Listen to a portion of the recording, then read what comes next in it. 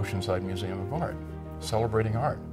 Okay, and a woman in a in a evening gown came over to me and said, "May I give you a hug?" I said, well, "Of course." But why? She was a Rituxan patient. Yeah. So